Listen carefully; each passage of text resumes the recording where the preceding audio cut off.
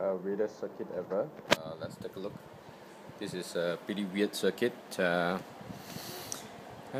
let's see if I go near. If I go uh, near this, my hand is near. I change the blinking. I go away. It's faster, right? Um, and if I were to um, use this Avramenko plug right? And if I touch the high voltage on a one wire I change the blinking right? Uh, this capacitor over here uh, 22 microfarad uh, which is the blue one behind the lead over that side uh, is causing the blinking.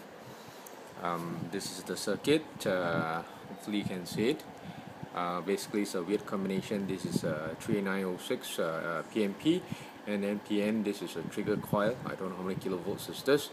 Uh, but basically this is my clock lead. Uh, you can see my red clock clock lead is uh, coming off of the uh, top of the trigger coil and into a transformer. Right there's a uh, the white one would be 3 volts. The white and the black is 3 volts. The yellow and the blue is 9 volts. And the brown and the thicker blue it's 220 volts 230 volts.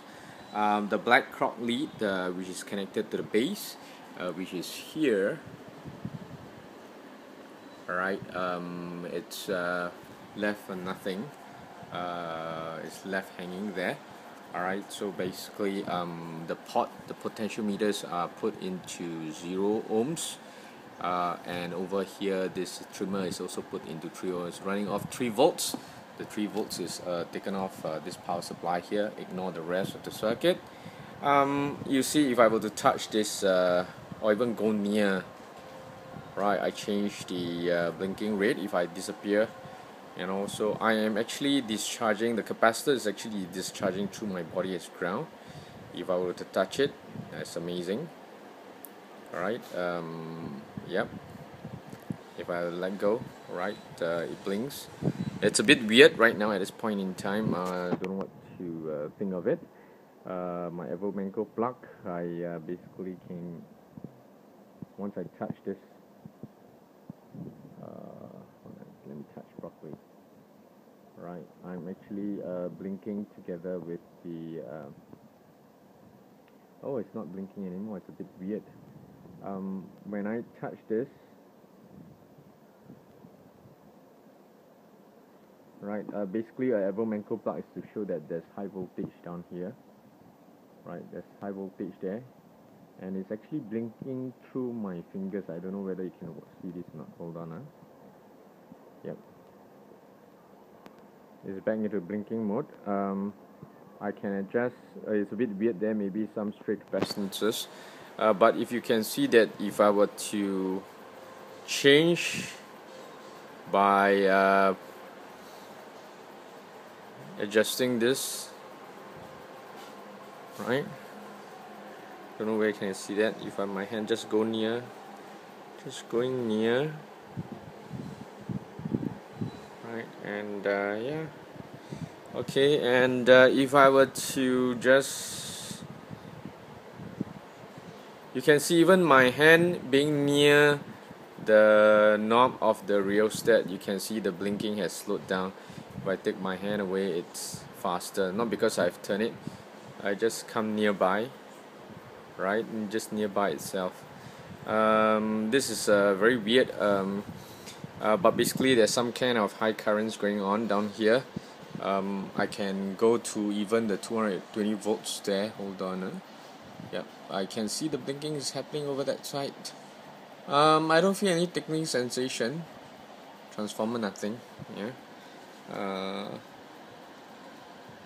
right. Right you can see this Avramenko plug. Uh, basically I, I'm touching just any corner of it. This is a bridge rectifier. Um, I solder I, I just connected to two of the leads over that side uh, using the Avramenko plug uh, configuration.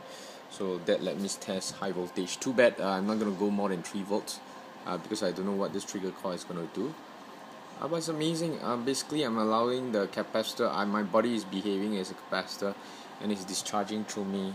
Uh, it's very interesting. If I go near the base again if I were to go anywhere near the base I'm actually affecting the uh, blinking red right? And of course you can see you know it's weird. Now I can't hold this camera up here but basically if I were to hold this and the red lead maybe I use my the other finger to hold the red lead uh, I hope I don't get a nasty shot yeah? Uh, you see there? Yep electricity is tra traveling through my body. Right um, it's a weird combination. I get stuck here again I don't understand why. Oh now the blinking is very slow. Um, maybe it needs some form of a discharge. Uh, let me just do this. Yeah I think I'm right. It needs some form of discharge okay maybe I just change this a little bit. There's something weird going on with this circuit uh, right? Let me just uh, maybe basically the this may have shifted a little bit. Yeah. Yeah. Okay so you can see um, it's back yeah maybe because the trigger coil has shifted a little bit. Again when I go nearby nearby this is very interesting I can't hold the camera and focus at the same time. Man.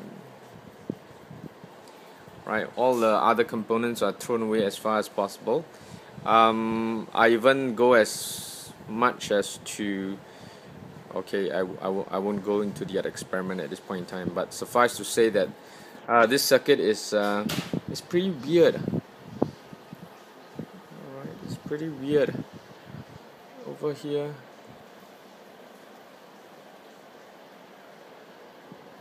alright I'm getting this again. Let me just touch the high voltage I'm getting that again. I'm just touching one wire again I'm saying. I'm just touching the, the wire with one of these. And I'm providing the other contact. So for example I hold like that. You know it, it should work. Maybe just let you see nearby just one wire. Right. Yep. Okay you can see that well for now uh, this is the circuit uh, uh, well, I'm thinking that uh, there's something going on with this uh, trigger coil, uh, and it's like capturing a lot of displacement currents into the base here. There's a 470 uh, micro Henry, sorry, not Henry choke over here, and basically this controls my base current into my NPN. Well, I'll try to figure out how this works, or somebody can help me to figure out how this thing works. And uh, yeah update you next time